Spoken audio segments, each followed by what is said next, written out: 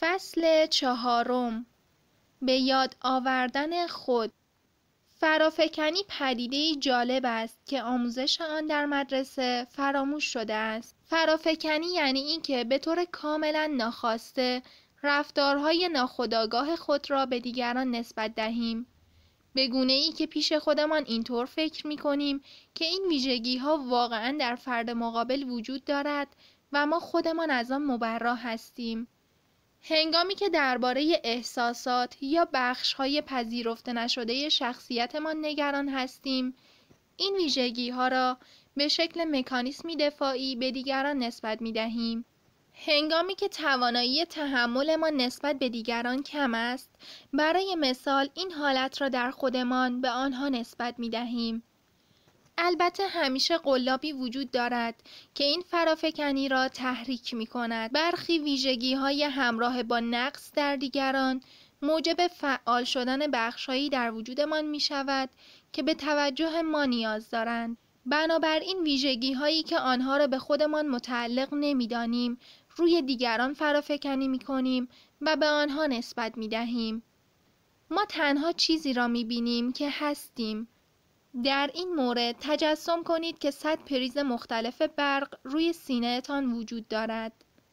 هر یک از این پریزها نشان دهنده ویژگی متفاوت است. ویژگی هایی که مورد پذیرش ما واقع شده اند، پوشش هایی روی خود دارند و به همین دلیل ایمن هستند و خطر برق گرفتگی در مورد آنها وجود ندارد. اما ویژگی هایی که درباره آنها مشکل داریم و آنها را از خود نمی‌دانیم ممکن است برق گرفتگی ایجاد کند. بنابراین هنگامی که با دیگرانی برخورد داریم که این ویژگی ها را از خود نشان می دهند دچار برق گرفتگی می شویم. برای مثال اگر خشم را در وجودمان انکار کنیم یا با آن مشکل داشته باشیم انسانهای خشمگین را به زندگی خود فرا خواهیم خواند. ما احساس خشم را در خود سرکوب می کنیم و افرادی را که خشمگین می شوند مورد قضاوت قرار می دهیم. از آنجایی که درباره احساسات درونیمان به خود دروغ می گوییم، تنها راه یافتن آنها دیدنشان در دیگران است. دیگران باستابی هستند از احساسات پنهان شده ما. این مسئله به ما فرصت می دهد این احساسات را دوباره بشناسیم و به یاد آوریم. ما به شکل غریزی از فرافکنی های منفیمان ناراحت می شویم. بررسی آنچه جذبش شده ایم از آنچه ما را از خود میراند ساده تر است. اگر خودخواهی و غرور شما مرا ناراحت کند به این دلیل است که من غرور و خودخواهی خود را نپذیرفتم. این یا غرور و خودخواهی است که در حال حاضر در زندگی از خود نشان می دهم و متوجه آن نیستم یا غرور و خودخواهی است که در حال حاضر آن را انکار می کنم و در آینده توانایی ابراز آن را خواهم داشت. اگر غرور و خودخواهی مرا ناراحت می کند، لازم است با دقت تمامی جنبه های زندگیم را بررسی کنم و این سوالها را از خود بپرسم. چه زمانی در گذشته مغرور و خودخواه بودم؟ آیا در حال حاضر مغرور و خودخواه هستم؟ آیا می توانم در آینده مغرور و خودخواه باشم؟ پاسخ ندادن به تمامی این سوالات به سادگی غرور و خودخواهی مرا نشان می دهد. باید برای پاسخ دادن به این سوالها با دقت خودم را بررسی کنم و از دیگران سوال کنم که آیا در من خودخواهی و غرور دیدن؟ قضاوت کردن درباره دیگران خودخواهی است. بنابراین روشن است که همه ما ظرفیت خودخواهی را داریم. اگر من خودخواهیم را بپذیرم دیگران ناراحتم نخواهند کرد. ممکن است در این صورت خودخواهی و غرور دیگران را تشخیص دهم. اما خودخواهی آنها روی من اثری نخواهد داشت در این حالت پریز خودخواهی و غرور روی سینه‌ام دارای پوششی محافظ خواهد بود تنها هنگامی که به خودتان دروغ می‌گویید یا از برخی ویژگی هایتان نفرت دارید است که احساساتتان به دلیل رفتارهای دیگران موجب برق گرفتگیتان می شود. هنگامی که تازه دوره های آموزشیم را شروع کردم گیج و حیرت زده شده بودم. هر هفته در مقابل گروهی می ایستادم و ناامیدانه سعی می کردم که خودم باشم. از این می ترسیدم که ممکن است دیگران دوستم نداشته باشند و سخت تلاش می کردم تا واقعا خود دوره های آموزشی هم آن زمانها در کالیفرنیا برگزار می شد و از هر سه نفر شرکت کننده دو نفرشان آفریقایی آمریکایی بودند. از اینکه با این گروه جدید از اجتماع سر و کار دارم شگفت زده بودم و خودم را متعهد می دانستم تا شرکت کنندگان را برای رسیدن به هدفهایشان حمایت کنم. هنگامی که سومین دوره ام را شروع کردم یکی از شرکت کنندگان ایستاد و با عصبانیت در صدایش شروع به صحبت کرد. به محض اینکه او حرفایش را شروع کرد احساس خشمی در عمق وجودم بیدار شد. برایم سخت بود و این زن چیزهایی را می گفت که می توانست برایم مشکل آفرین باشد.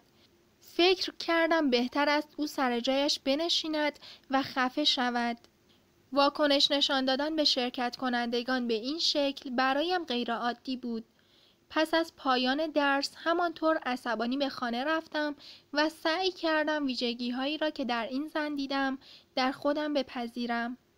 زننده، خشمگین، پرخاشگر و بدجنس به مدت چهار هفته بعد هر بار که در جلسه ای آموزشی بودم همان زن که آرلن نام داشت از جا بر می‌خواست و همانطور با بیادبی صحبت می‌کرد.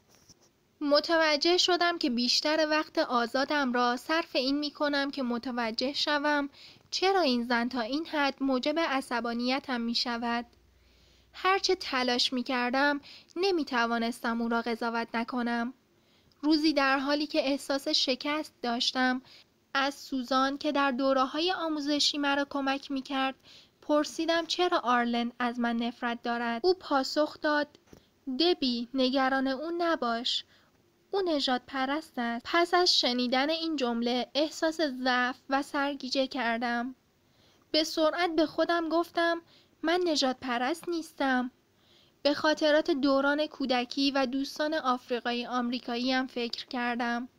یادم آمد که چگونه به آنها شنا کردن را یاد دادم و همراهشان مسابقه دو می‌دادم به یاد پدرم افتادم و اینکه چگونه او برای به دست آوردن حقوق شهروندی می جنگید و تلاش می کرد.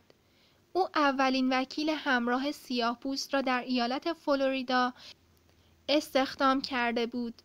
مطمئن بودم که نجات پرست نیستم.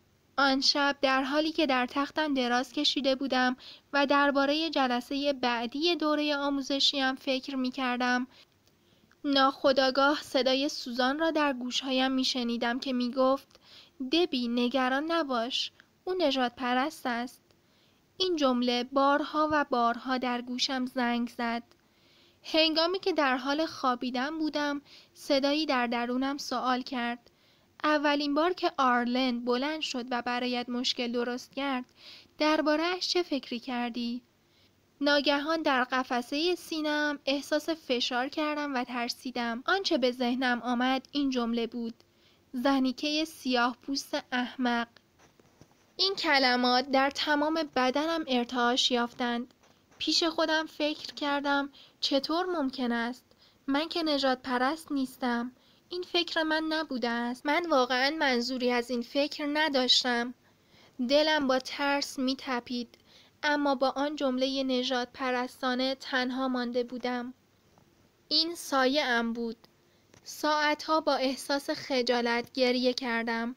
احساس می کردم که به تمام دوستان دوران کودکیم که مرا دوست داشتند و به من اعتماد کرده بودند خیانت کردم. هنوز هم پذیرفتن این نکته برایم سخت بود که من نجات پرست هستم. ساعتها در مقابل آینه تکرار می کردم من نجات پرست هستم. من نجات پرست هستم. و سعی داشتم تا این بخش از وجودم را بپذیرم و احساس آرامش کنم. هرچه بیشتر این جملات را تکرار می کردم همه چیز برایم ساده تر می شد. می دانستم که در این جملات هدیه ای پنهان است و شروع کردم به جستجوی این هدیه. سپس پدرم را به یاد آوردم که بیوقفه درباره حقوق مساوی شهروندی حرف می‌زد و اینکه چگونه تا زمانی که همه ما مساوی نباشیم از آزادی کامل برخوردار نخواهیم بود.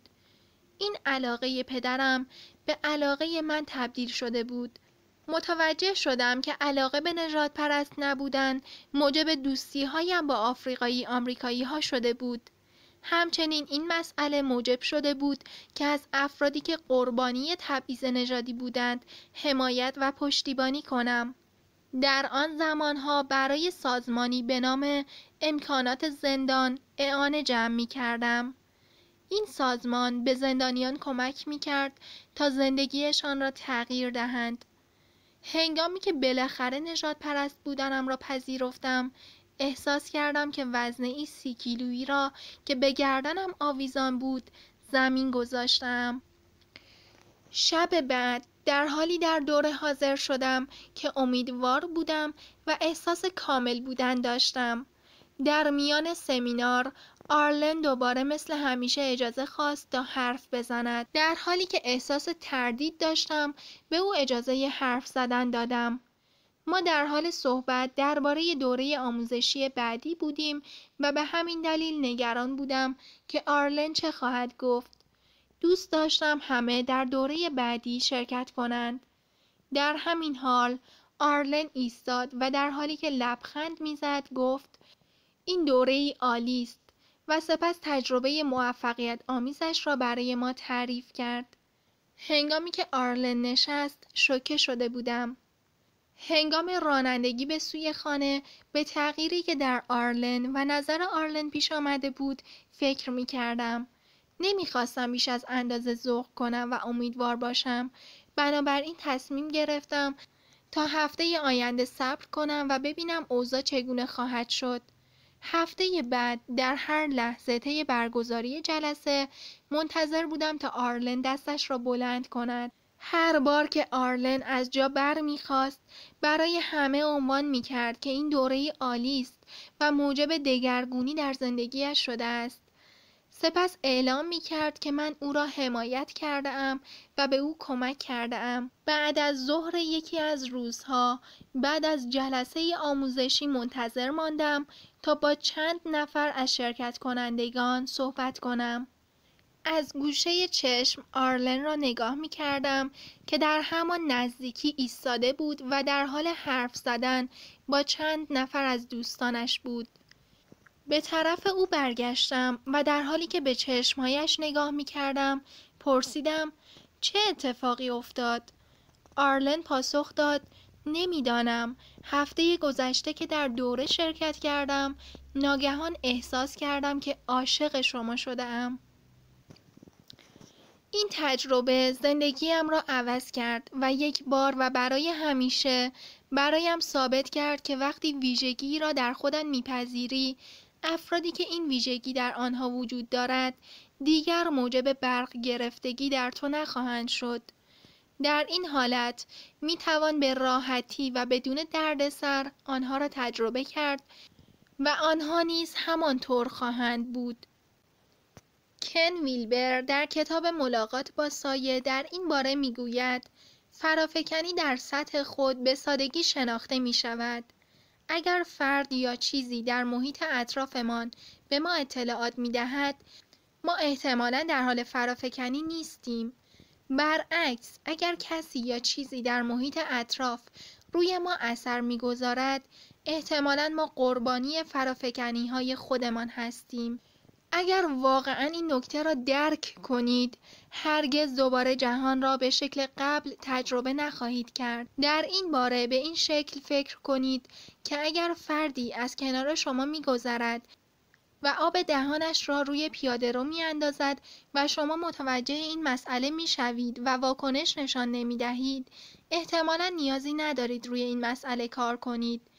اما اگر عصبانی می شوید و فکر می کنید که فردی تا چه حد می تواند بی فرهنگ و نفرت انگیز باشد که این کار را انجام دهد در حال فرافکنی هستید ممکن است در حال حاضر شما نیز درگیر رفتارهایی مشابه عمل آن فرد باشید یا در گذشته رفتارهایی دقیقا مثل همان فرد از خود نشان داده اید.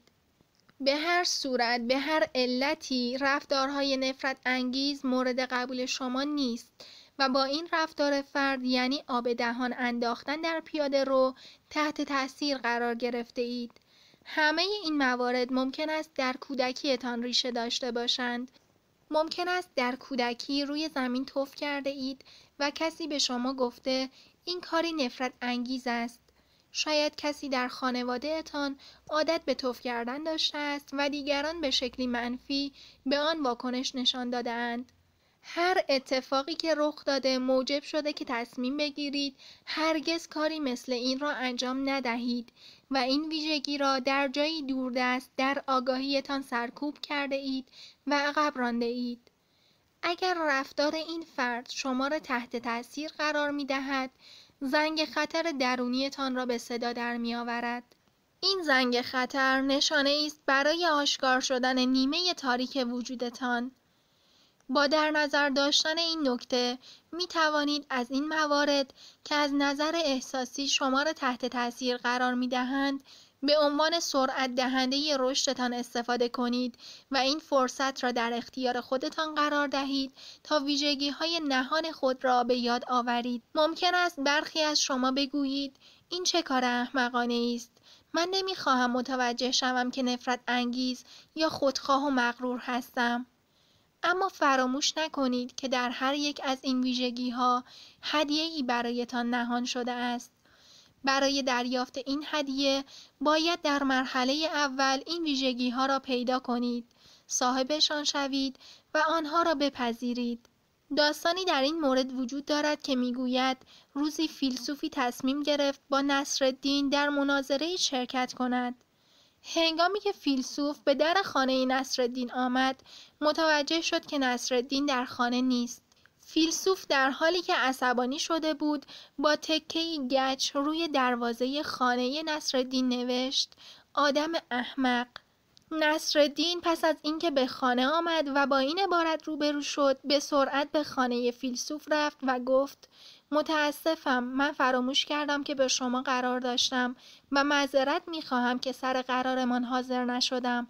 اما به محض اینکه نامت را روی دروازه خانه ام دیدم قرارمان را به یاد آوردم. براشفتگی ما به دلیل رفتارهای دیگران معمولا به بخشی مشکلدار و حل نشده در خودمان باز میگردد. اگر هنگام حرف زدن با دیگران قضاوت دیگران یا توصیه به دیگران به هر آنچه از دهانمان بیرون می آید گوش بدهیم باید طوری صحبت کنیم که بتوانیم به راحتی اگر طرف این حرفها خودمان هستیم آنها را بپذیریم و بشنویم. فیلسوف داستان نصرالدین می توانست به سادگی در خانه نصرالدین بنویسد مرد بیادب دروغگو یا بدقول. او می توانست به جای رسیدن به این نتایج و پیشداوری پیش خودش فکر کند که ممکن است نصرالدین در تصادفی زخمی شده یا بیمار است. اما کلماتی که در غیبت نصرالدین به ذهنش رسید آدم احمق بود.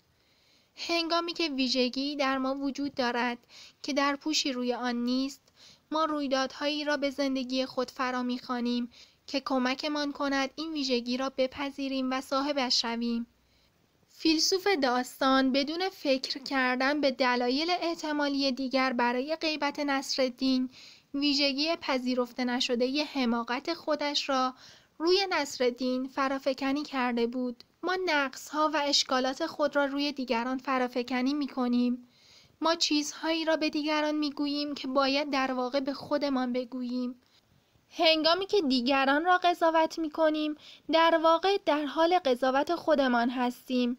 اگر با فکرهای منفی خود را بیوقف آزار می دهید یا اطرافیانتان را به شکل احساسی، کلامی و حتی بدنی رنج می دهید یا با تخریب جنبه از زندگی خودتان در حال آزار خود هستید. آنچه می کنید و آنچه به زبان می آورید تصادفی نیست. اصلا تصادفی در زندگی ای که خلق می کنید وجود ندارد.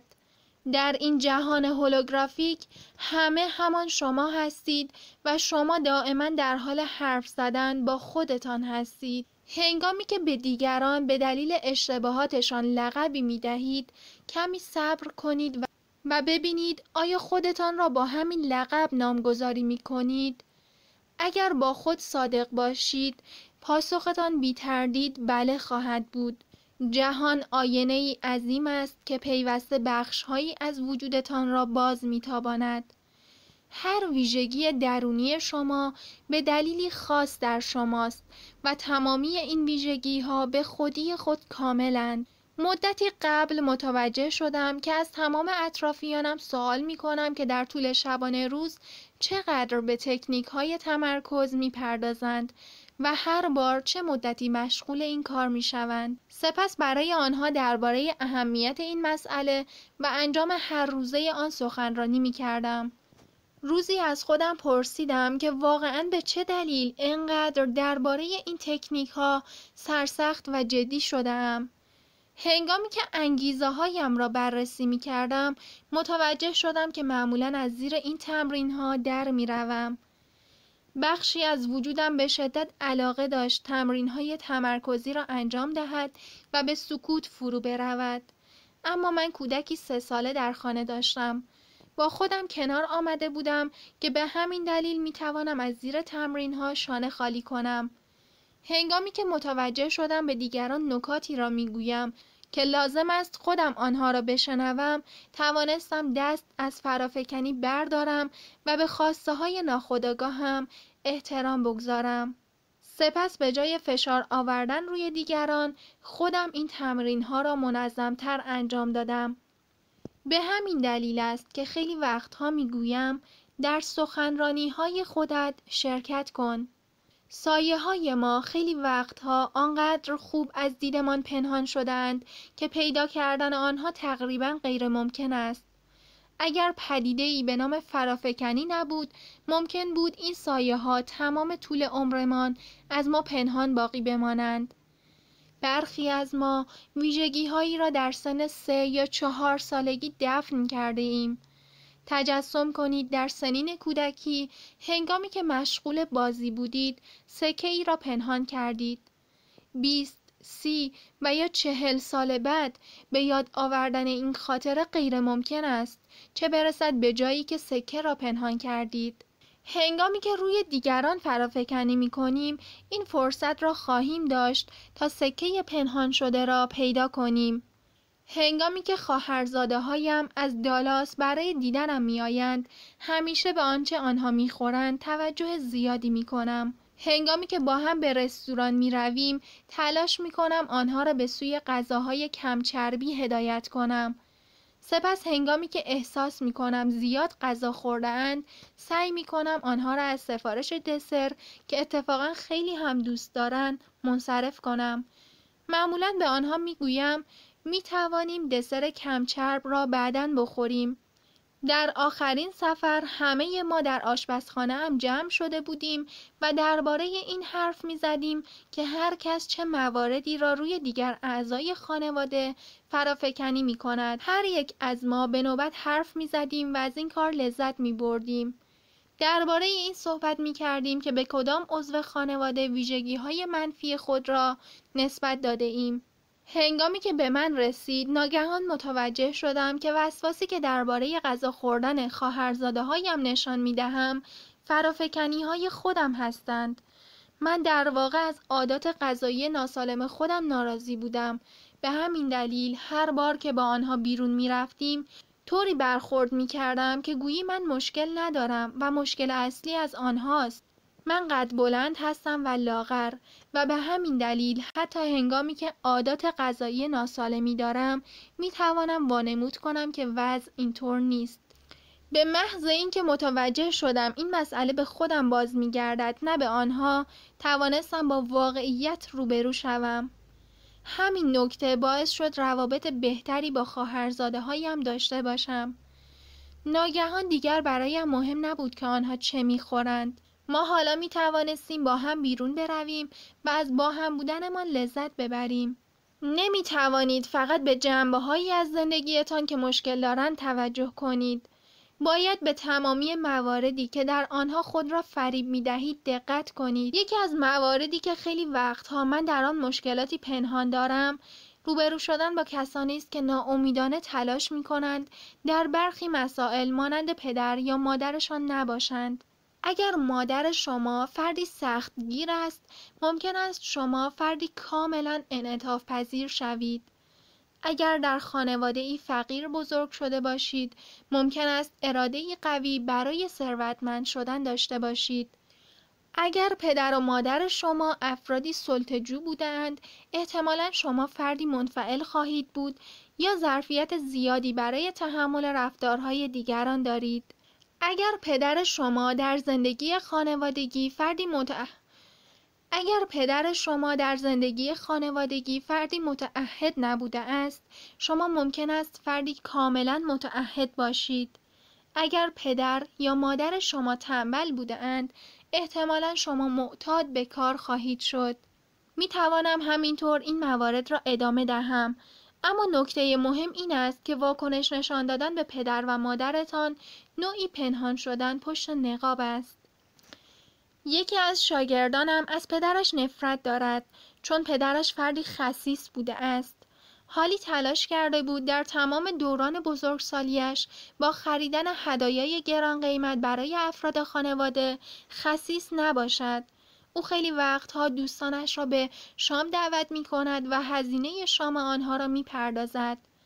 حالی از این واقعیت خوشحال است که فردی بخشنده است. هنگامی که به او گفتم باید ویژگی خسیس بودن را در خودش بپذیرد تا بتواند پدرش را ببخشد و این احساس را رها کند او در مقابل این کار مقاومت می کرد. به مدت چند هفته درباره زندگی هالی با او بحث می کردم. هالی به این نکته اشاره می کرد که فردی بخشنده و دست و دلباز است. سپس روزی هالی از سوپرمارکت با من تماس گرفت. او متوجه شده بود که یک ساعت است در حال مقایسه قیمتهای محصولی است تا بتواند از ولخرجی جلوگیری کند. این نکته او را شگفت زده کرده بود که می توانست بدون فکر کردن و تردید 500 دلار را خرج خریدن پیراهنی کند اما نمی‌خواست برای خریدن یک بسته دستمال کاغذی 20 سنت بیشتر بپردازد. ناگهان چیزی در ذهن حالی زنگ زد. او متوجه شد که مثل پدرش خصیص است. فقط نوع خصیص بودن او با پدرش تفاوت دارد. شک کشف این بخش از وجودش موجب شد اشک در چشمهایش جمع شود. مقدار زیادی از انرژی حالی به این دلیل تلف شده بود که مثل پدرش نباشد. او سالها بود که خصیص بودنش را نهان کرده بود و ناگهان متوجه شده بود که این ویژگی مثل روز روشن در او خودنمایی می کند. پس از مدتی حالی توانست هدیه خصیص بودنش را کشف کند. خصیص بودن تبدیل به آن بخش از حالی شد که دوست داشت برای آیندهش برنامه ریزی کند و برای دوران بازنشستگیش سرمایه گذاری کند. تا آن زمان حالی نتوانسته بود پولی پس انداز کند چون دائما تلاش می‌کرد مثل پدرش نباشد. به این شکل او توانست پدرش را به طور کامل بپذیرد که همین مسئله موجب شد رابطه آنها نسبت به قبل بهتر شود. آزادی یعنی بتوانید در هر لحظه از زندگیتان هر کسی که می خواهید باشید. اگر قرار است به گونه ای رفتار کنید که کسی نباشید که دوست ندارید، دائما در دام گرفتار شده اید. در این حالت آزادیتان را محدود کرده اید و دیگر وجودتان کامل نخواهد بود. اگر نمی توانید تنبل باشید، نمی توانید کاملا آزاد باشید. اگر هنگامی که اتفاقی ناراحت کننده رخ می دهد نمی توانید خشمگین باشید نمی توانید آزاد باشید اگر در بده و بستان با کسی رفتاری خلاف رفتار او را در پیش می گیرید از خودتان سوال کنید چرا؟ اگر گروهی خاص از افراد دائما شما را ناراحت می کنند مواردی را که با این گروه شباهت دارید پیدا کنید تنها ویژگی های منفیمان را روی افراد فرافکنی نمی کنیم فرافکنی برای ویژگی های مثبت نیز صورت می گیرد. بسیاری از افرادی که با آنها کار می کنیم نبوغ، خلاقیت، اقتدار و موفقیت خود را فرافکنی می کنند. اگر می خواهید مثل دیگران باشید، دلیلش توانایی درون است که قابلیت مانند آنها شدن را دارید. اگر شیفته افرادی خاص شوید و زمان و پولتان را صرف مطالعه درباره زندگی آنها می کنید، به دنبال هایی در آنها باشید که دوستشان دارید و این ها را در درون خود جستجو کنید. شما شایستگی دارید که هر چه را بینید و دوست دارید داشته باشید. تنها تفاوت میان شما و افرادی که تحسین می کنید این است که آنها یکی از ویژگی هایی که آرزویش را دارید از خود نشان می دهند و احتمالا آرزوی شما را هم برآورده کرده اند. هنگامی که با تمام ظرفیت زندگی نمی کنید، فرافکنی ویژگی های مثبتتان روی افرادی که با تمام ظرفیتشان زندگی می کنند کار راحت تری است. هنگامی که از همه توان و ظرفیت خود استفاده می کنید و به آرزوها و اهدافتان می رسید، علاقه کمتری به آنچه دیگران انجام می دهند خواهید داشت. همه ما نیاز داریم قهرمان های خود باشیم. تنها راه این کار بازپس گرفتن بخش هایی از خودمان است که آنها را در دیگران جستجو می کنیم. بخش هایی از خودمان که آنها را به دیگران داده ایم. حدود یک سال است که با دوستی کار می کنم که سایه من است. راشل جوان، زیبا، باهوش و با استعداد است. هرگاه من و راشل با هم هستیم، راشل همواره در حال تحسین و تعریف از من است. او دائما به من می‌گوید که چقدر باهوش، زیبا و با استعداد هستم اگرچه می‌دانم که راشل مرا دوست دارد و به من احترام می‌گذارد اطمینان دارم که هوش استعداد و زیباییش را روی من فرافکنی می کند در حالی که آگاه از فرایند فرافکنی هستم در مقابل شیفتگی او مقاومت کرده ام در عوض به او کمک کرده ام تا هوش، زیبایی و استعداد انکار شده اش را دوباره به یاد بیاورد. پس از بحث های فراوان مشخص شد که راشل باور دارد من صاحب ویژگی هایی هستم که در او وجود ندارد. با اطمینان دادن به او که چنین چیزی درست نیست از او خواستم که این ویژگی ها را نام ببرد. می‌دانیم که فرافکنی هنگامی رخ می دهد که فردی به صورت احساسی از رفتارهای فردی دیگر تأثیر میپذیرد. خواه این تأثیرها منفی یا مثبت باشد. راشل ظرفیتهایش را در من می بیند. من آینه او هستم. او هنوز بر اساس ظرفیتهای مورد علاقهش زندگی نمی کند. او سایه نورانیش را در من می بیند. چنین مسئله ای باعث می شود راشل در موقعیت دشواری گرفتار شود. اگر من او را ترک کنم این ویژگی هایش ناپدید می شوند. در این صورت این ویژگی ها در تاریکی نهان می شوند تا زمانی که او فردی دیگر را برای فرافکنی این ویژگی ها پیدا کند. ویژگی های من که روی او تأثیر می‌گذارند تنها تصویری از مواردی است که او نیز می تواند صاحبشان باشد. تا زمانی که وجود برخی ویژگی ها را در خود انکار می کنیم به این افسانه دامن می‌زنیم که دیگران صاحب چیزی هستند که ما صاحبش نیستیم هنگام تحسین دیگران دقت کنید که در حال تحسین چه ویژگی هایی در خودتان هستید. باید دست از فرافکنی های مثبت و منفی برداریم. باید پریزهایی که ما را با دیگران متصل می سازد با درپوش هایی محافظ بپوشانیم. تا زمانی که فرافکنی های خود را جستجو نکرده ایم غیر ممکن است که بتوانیم ظرفیت کامل خود را بشناسیم و تمامیت آنچه واقعا هستیم را تجربه کنیم. اگر شهامت مارتین لوترکینگ مرا به خود جذب می کند تنها به این دلیل است که همین میزان شهامت می تواند در زندگی من و توسط خودم ابراز شود. اگر به اثرگذاری شخصیتی فرهنگی جذب می شوم دلیلش این است که من هم می توانم همین اندازه اثرگذاری در زندگی دیگران داشته باشم. افراد بسیاری بزرگی خود را فرافکنی می کنند. به همین دلیل است که ورزشکاران و افراد مشهور تا این اندازه در کشورهای مختلف پول در میآورند. ما به آنها پول می دهیم تا قهرمانانمان باشند و آرزوها و خواسته های به واقعیت نرسیده ما را به واقعیت برسانند. افراد به این به اصطلاح ستاره ها قبطه می خورند بدون اینکه اندکی از واقعیت های زندگی شخصیشان را بدانند. آنها برای فرار از زندگی خودشان در زندگی این افراد گم می شوند. واقعیت ژرفتر این است که آنها در حال فرافکنی ویژگی از خودشان روی قهرمانهایشان هستند. اگر بزرگی مشاهده می کنید این بزرگی خودتان است که شاهدش هستید. چشمهای خود را ببندید و در این مورد فکر کنید. اگر بزرگی را در انسانی دیگر تحسین می کنید این بزرگی خود شماست که شاهدش هستید.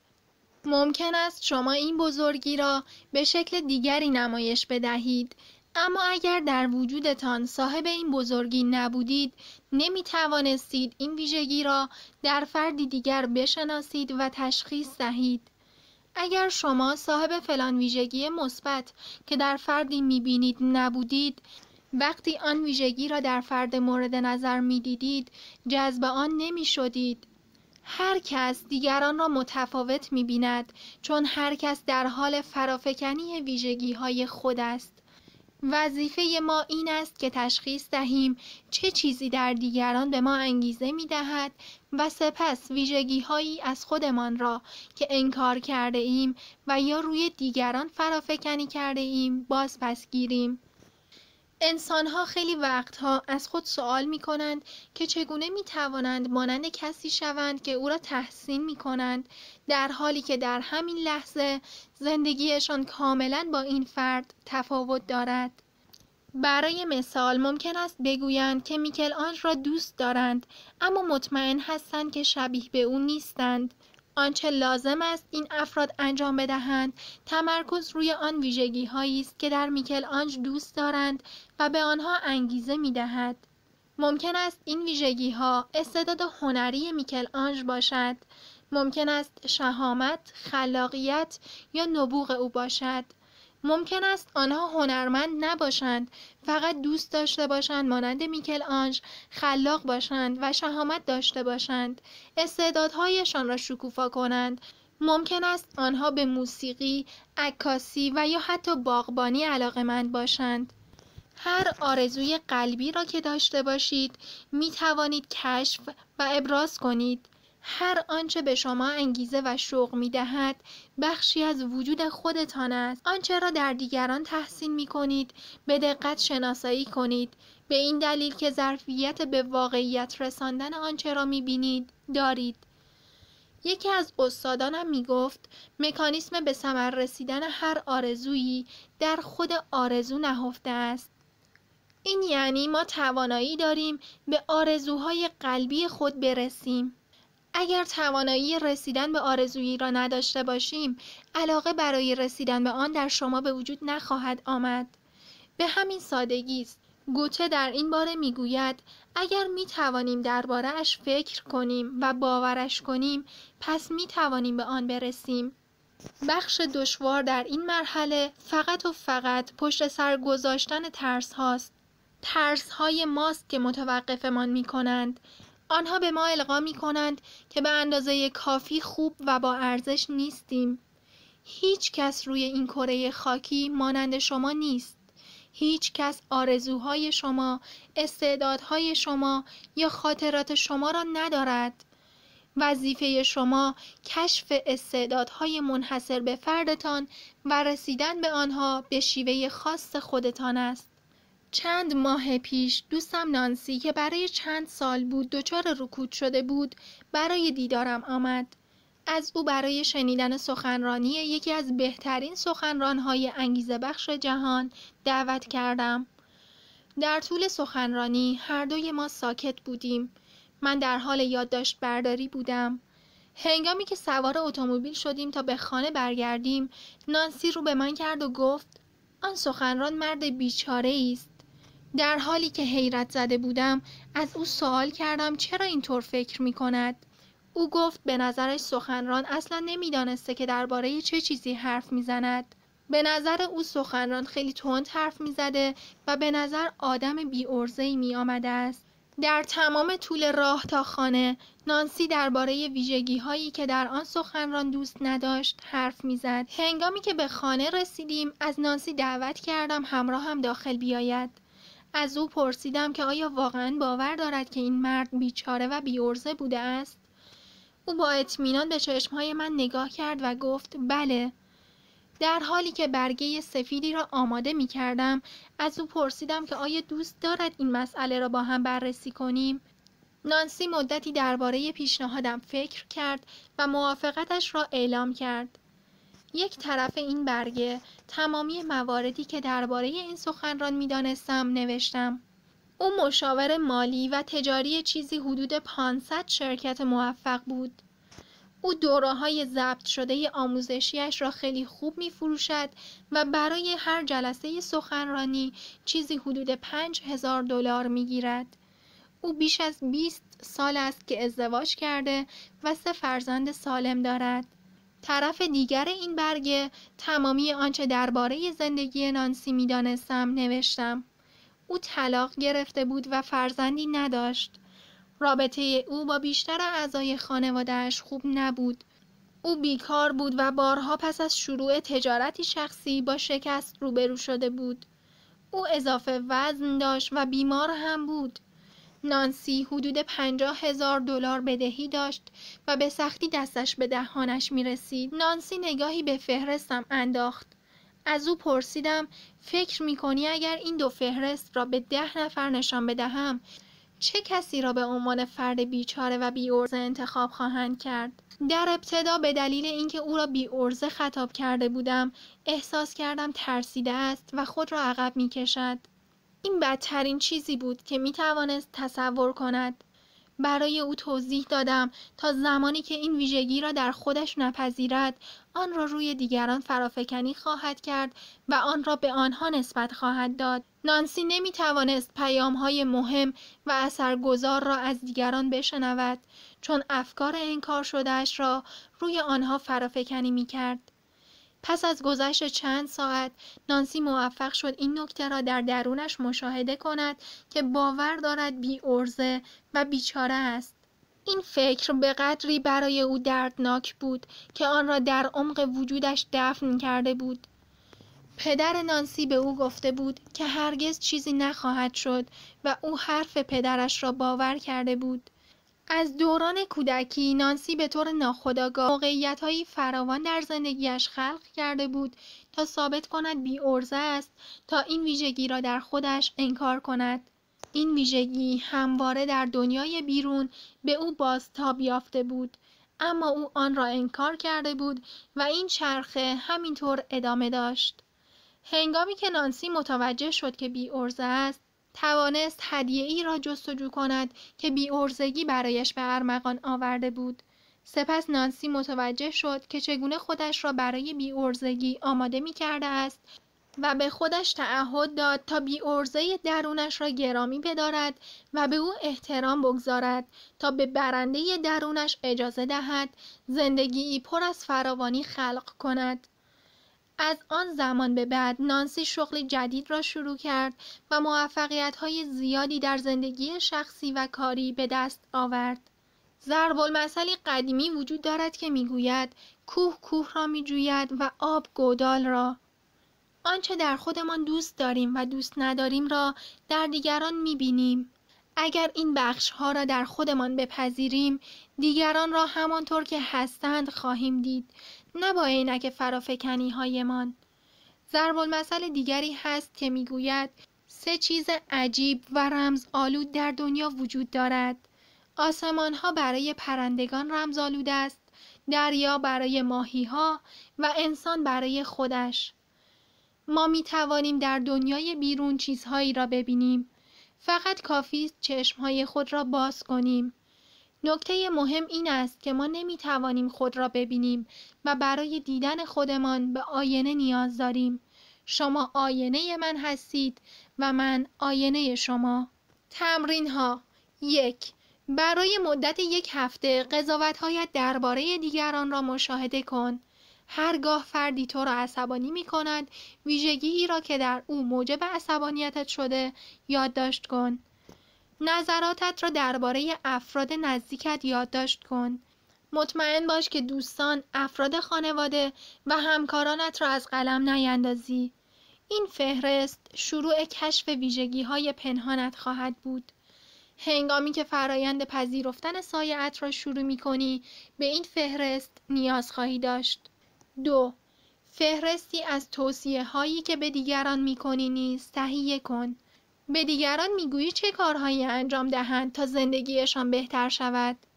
دقت کن که آیا توصیه ای که به دیگران می کنی توصیه ای نیست که خودت باید به آن گوش دهی؟ گاهی برای به یاد آوردن آنچه خودمان لازم است انجام دهیم به دیگران می‌گوییم چه کارهایی را انجام دهند دقت کن که توصیه به دیگران ممکن است شیوهی برای یادآوری خودت باشد